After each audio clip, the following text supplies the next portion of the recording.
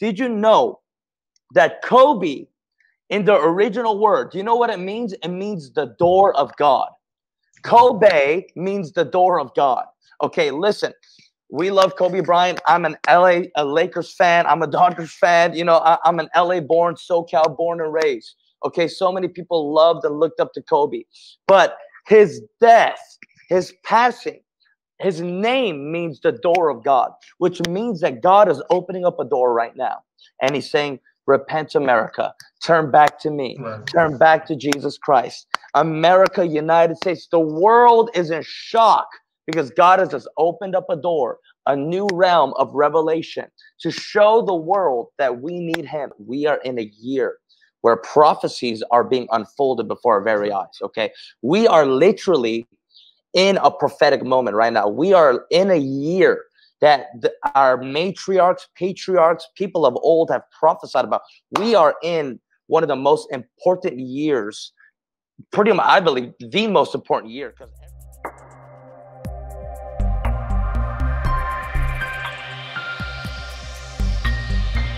Now, I, I'm very close with a lot of people who were his friends and are his friends. Uh, you know, uh, I'm I'm in a stream. I'm in a group of uh, prophetic people uh, that you know are very close with Bob Jones. Were some of his best friends till the day he died. And again, this prophetic word came to pass. Uh, what do you think about this uh, phenomenon? Before I pass the mic to you, Marcus, one of the things that the Lord told me is that 2020 is going to be a record-breaking year. We're going to be seeing world records be broken, such as uh, you know, the uh, the coronavirus, and you know, you could talk about that. Uh, you know, such as Kobe Bryant's death, which is a shocker, which you know is still, you know, and again, his ex-wife just committed suicide today, right? And uh, I mean, we're seeing so many things that are breaking world records. And uh, you know, I mean, President Trump was the first president ever to go and present himself at the March of Life, standing pro-life okay not pro-choice but pro-life for uh, you know, the death, the innocence of these unborn babies. And we're seeing history being made. But I want to talk about, uh, you know, this prophecy with the Kansas City Chiefs and Bob Jones and uh, just anything else on your heart there. Go ahead, my friend. Well, I'll make this one quick. Uh, if you guys don't know, I want to just share it with you real quick. I said, if the Kansas City Chiefs win the Super Bowl, revival is coming. According to a prophecy going viral on Facebook before passing away in 2014, I this wasn't recent. Prophetic minister Bob Jones reportedly told Shawn Bolz, another prophetic minister, that God had told him this in a vision. Bob Jones told me at least 10 times when the Chiefs win the Super Bowl, you will know that revival is about to come. God is raising up his apostolic Chiefs. Now that's very interesting because I don't think that uh, nobody thought the Kansas City Chiefs were going to the Super Bowl back then. You could kind of be like, mm, you know, once they got Patrick Mahomes and stuff like that. But the fact that this happened, what you said earlier, some people they don't um they don't believe this, brother. How you're talking about God can speak through colors and things like that. That's the only way the Lord has always spoke to me. And and one thing, you know, people get so religious. They say, "Well, brother Marcus, why do you keep talking about Kanye West and and the Chiefs and Super Bowl and and uh, these different things?" Well, one thing that I learned, God uses that stuff as a means because church folks try to act like they don't care about these things. But if you notice, I've been doing videos for a long time. If you do a video saying, you know, let's go deeper into sacrifice or fasting or prayer, you don't get as many views but if you start talking about Super Bowl and J Lo and this and that and Kanye West, people click on it. And so that what I've learned to do is take stuff like this and show, like, look, you can feel whatever you want to feel. You can feel like God is not speaking, but He is speaking because there's stuff like this yeah. that is happening that it's, it's just clearly like even with Kim Clement. I mean, that was back in 2000, what six? And he said they were going to say impeach, impeach, impeach, yeah. and, and all of these kind of things. So I would all I want to say about it is expect something. In 2020, expect God to do something. And uh, the Lord showed me with President Trump, Isaiah 45, right? 45th president, King Cyrus in Isaiah 45, he told the children of Israel to go build the temple. right? Now, he wasn't saved, he wasn't perfect, he wasn't some righteous man of God, but God used King Cyrus in that moment. And so, seeing this prophecy right here, that revival is coming, right? If you couple that with what the Lord told me, he told me, tell my people if they build it in the season, I will bless it. Mm. But what you build, build it with the right heart. Souls are the heartbeat of God. That's what he cares about more than anything. He, more than your gifts, more than how good you sing, more than how good you preach. It has to be about winning souls, snatching them out of the, yeah. the clutches of hell. And if you do that with that heart, God is going to start blessing ministries and he's going to position people to receive this harvest and this revival that was prophesied by this anointed man of God. Wow, so good. You know, Kim Clement, uh, I never met him personally, but uh, I am close with his family. Uh, and I'm close, uh, you know, with the ministry. I've been there a number of times, and I respect the man of God from South Africa. I mean, one of the greatest prophetic gifts of our era, uh, you know, that that most people have ever known or seen or heard. But you know, I think it's so interesting. Right now, people of God, we are in a year where prophecies are being unfolded before our very eyes. Okay, we are literally in a prophetic moment right now. We are in a year that the, our matriarchs, patriarchs, people of old have prophesied about. We are in one of the most important years pretty much i believe the most important year because every year has been built on upon this until where we are now but we are in the most important year and i believe the most important decade of all time which means that we need to walk uh, with the right heart like marcus said we need to walk uh, and circumspect you know, we need to check our hearts. We need to guard our minds. There's a higher call. There's a greater fear of the Lord. You know, there's a greater cost. And God is getting us ready because there's such a, a big a responsibility on our hands in this season. I really believe, again, there's a reformation that's happening in the church, which means that, you know, as we are uh, turning the tables, as things are being exposed, as uh, leaders are falling, as leaders are being exposed on the public mainstream rampantly, you know, in the church, in government, you know, in all spheres of society. You know, we need to make sure that our hearts are are pure and right before the Lord because He wants you to be a part of this end times army. He wants you to be a fulfillment of this prophecy as well in Jesus' name. So I think it's incredible, you know, again, with these prophecies, you know, I do believe that United States of America is turning red. I do believe that uh, with this next reelection, President Trump is going to win with a landslide. I do believe that, uh, you know, more and more uh, minorities and millennials are going to be voting red, are going to be voting for President Trump, uh, you know, and as that, there's going to be prosperity and wealth. You know, I love what you were saying earlier, Marcus, about souls. It has to be about souls. But with that, there's going to be prosperity and wealth back to America. The debts will be canceled as we partner and side with Israel. There's going to be wealth that's coming. And not only that, but people are going to come to Jesus and souls are going to be won to the Lord. Um, you know, I feel like as we are about to bring this uh, broadcast, Marcus, to a close, I, I want to talk about um, Israel. I want to talk about China, I want to talk about Iran or or anything else that's on your heart, on your mind.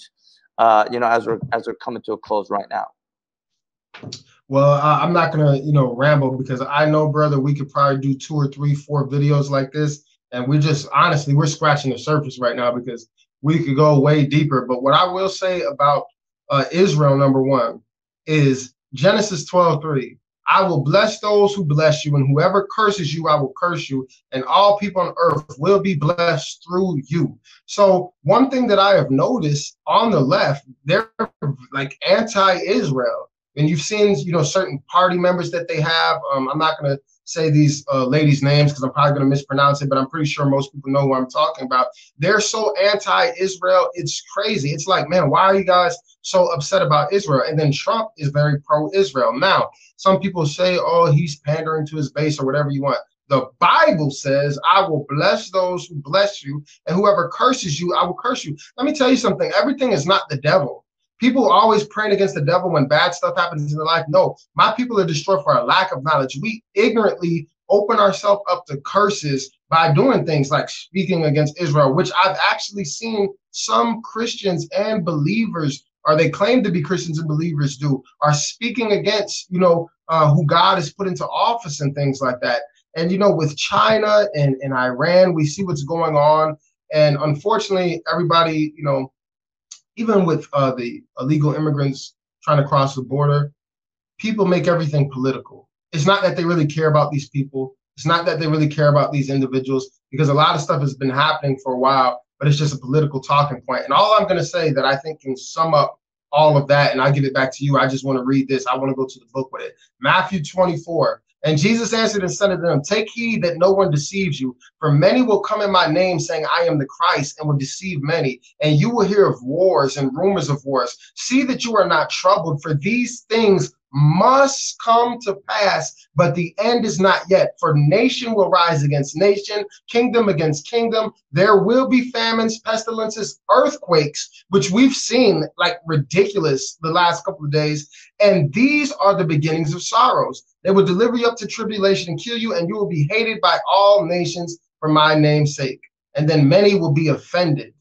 Many will be, if everybody's offended, bro Everybody's offended about anything. People are going to be offended by this video, what you post, what you tweet when you take a stand. So I would say that if God shows you something, if God speaks something to you, you know, a lot of prophets are politically correct. They prophesy for a profit, dollars. But God's prophets in the Bible were not politically correct. They knew, like, man, if I say this, Jezebel's going to get me. Mm-hmm. If I say this, King Herod's going to get me. If I say this, though, all the children of Israel are going to be mad. Do you have the backbone in 2020? Because it seems we have a million prophets running around on the internet online. All right. all you prophesy about is cars and and my brother is right. You will get financial blessings. You will, but kingdom finances are not to be used for you. God will bless you to be a blessing, and then seek ye first the kingdom of God, and all these things will be added unto you. So, you know, let me say that on a side note. I just feel led to say that Christians don't have to be broke, busted, and disgusted and walking around looking miserable. You know, the Bible says the wealth of the wicked is laid up for the righteous. The Bible yeah, says if on. you sow, you will reap. Come That's on. a biblical principle. So if I give and I give and I give, don't be mad when God gives it back. You know, don't don't judge people when you see them walking with the crown, when you don't see the cross that they carried. You don't know why my brother has his platform. You don't know why my brother is blessed. You don't know what he had to go through to get to where he's been. So think about it from that context. Be willing to put yourself out there for Jesus, even if it's not popular, and he's going to reward you and he's going to take care of you. And you're not doing it for the reward. That's just because he's a good God. He likes faith. Peter stepped off the boat in faith. And when you step off the boat in faith, that's when you see the supernatural. So for some of you, the stuff that we were talking about in the politics, you're going to have to step out, and your family is mm-hmm. not going to step with you, and your friends are not going to step with you. But then that's where you see the supernatural. Don't lean to your understanding. Oh, the waves are too big. Oh, I'm going to get backlash. Oh, I don't like this. Oh, I heard that. What is the Spirit of God saying? And when you step in that, you're going to see God do some wonderful things. We are going to receive revival in 2020. We are going to see on. the enemy be exposed. We are going to see floodgates be open. We are going to see yes. God show himself mighty. We are going to be victorious. God is going to take some people who have been in the back and bring them to the front. And he's going to take some people who've Come been on. in the front yeah. and bring them to the back. He's about to humble some people. He's about to expose yeah. some people Come all on. for his glory in 2020. Now, I, we said a lot of things in this video, but don't be afraid. Don't be yeah. scared. You know what? God is in control. He's the Alpha, He's the Omega, He's the uh-huh. beginning and the end. So, what we're telling you is nothing to be scared or worried about. It's just something to rejoice about because we're closer to His return. Come on. So good. We are close. Come on. It's time for us as a church to rejoice. It's time for us to give thanks because our recompense is here. Our recompense is near. And, uh, you know, the Lord is moving. He's doing such great things amidst of you know famines and in the midst of wars and in the midst of you know these earthquakes and these devastations that's happening still the lord is moving and he's doing something great come on he has a great end time plan over your mm-hmm. life over california over chicago over the united states mm-hmm. over dc over the cabinet over the government of america i'm telling you all the kingdoms of the world will become the kingdom of our god and the holy spirit is anointing certain people heads of leadership He is, he, listen, he's either going to remove them like Vashti, or he's going to put into place a new Esther. Wow. And God is removing the Jezebels and he's putting into place the Elijahs. So there's a removal that's happening, and there's a renewal, removal, and a renewal that is happening. So in this season, praise God because it's a new year, it's a new decade. He's doing something fresh, something new that we've never seen before. And we say yes and amen to Bob Jones' prophetic words that when the Chiefs win, that the apostolic Chiefs will be released. And guess what? Yesterday, February 2, 2020, right, right, 2 2 2020, that was a palindrome year, right? There was a palindrome date, which means that whether you put it forward or backward or backward and forward in whatever sequence, numbers or letters, it's going to be the same thing. We are not going to have another palindrome year for another, what, 101 years. Before, it was 909 years. Now, this is a sign and a wonder. Listen, God will speak through signs in the sky, as it says in the book of Joel, it says in Genesis. The Lord is still speaking, He's still moving. And guys, I want to close with this here because my friend Johnny Enlow gave this profound word about the death of Kobe Bryant. Okay. All right. Listen, guys, you do not know if tomorrow's promised. Okay. And I'm not a doom gloom type of preacher, but you do not know when something may happen. Is your life right with Jesus? Do you believe in Christ Jesus as your one and only Savior? Not this prophet, not this teacher, not that religion. Come on. Even Buddha himself said that I am not the way. I can help lead you to the way, but I am not the way. That's what Buddha himself said. Okay. So, do you know Jesus? What happens? What's going to happen if you get in a car crash? If you get, uh, you know, into an accident or, or something happens? Is your life, is your heart right with Jesus? I want to give you this word that my friend Johnny Enlow, uh, he was just with us recently. But did you know that Kobe, in the original word, do you know what it means? It means the door of God. Kobe means the door of God. Okay, listen. We love Kobe Bryant. I'm an LA a Lakers fan. I'm a Dodgers fan. You know, I, am an LA born, SoCal born and raised. Okay, so many people loved and looked up to Kobe. But his death, his passing, his name means the door of God, which means that God is opening up a door right now. And he's saying, Repent, America. Turn back to me. Turn back to Jesus Christ. America, United States. The world is in shock because God has just opened up a door, a new realm of revelation to show the world that we need Him no matter what. Listen, that morning before Kobe and his daughter Gianna, before they boarded the helicopter, we know news reports have said that he went to the Catholic Church. He went to Mass that morning before he hopped on the helicopter. Is your life right with Jesus, guys? Come on. The Lord is opening up a door.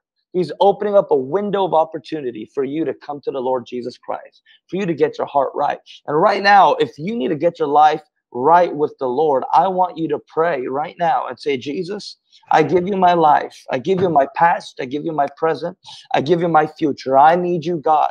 I need you, Jesus. People are coming to the Lord like Kanye West. If God can do it uh, in Kim Kardashian's life, who was pretty much like a soft a soft core porn star. If God can do it in these people, God can do it with you. Father, I pray right now for every single person watching now, live on the replay, that you will touch them, you will minister to them. I thank you, God, that there's a conviction that's coming, a conviction of our need for you, Jesus. I bless you. Welcome to the family of God, people of God. Welcome to the family of God. In Jesus' name. Marcus, anything you want to say as we close here?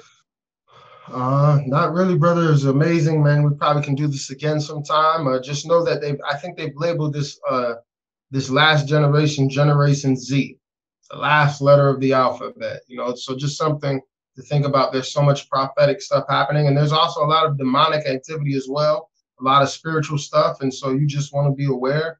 You don't want to be a casual Christian. You know, uh, a lot of people they just go to church on Sunday and they do their two songs and their sermon but this this the war didn't stop. The war isn't only fought on Sunday. There's a war going on Monday through Saturday. Yeah. And the Bible says to take on the whole armor of God for a reason.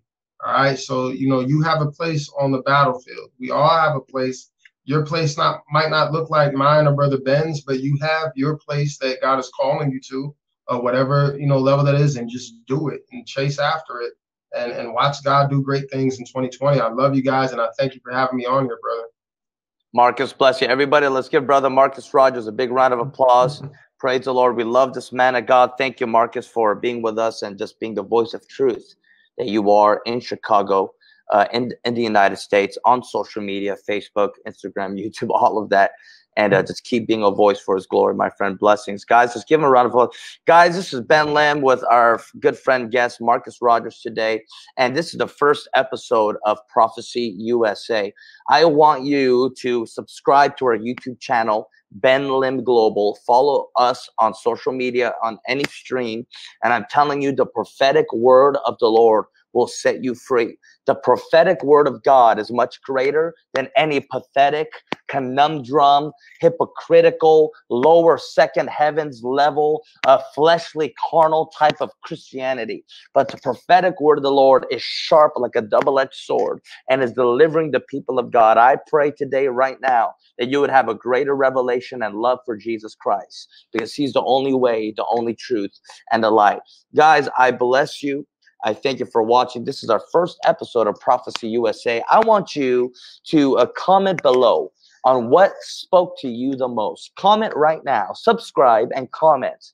What spoke to you the most? What highlighted, what was highlighted to you the most? And I want you guys to continue to follow the Lord with all of your hearts and watch Jesus shine all across the United States and in the nations. God bless you guys. Shalom. This is Pastor Ben Lim here with Prophecy USA. Blessings to you.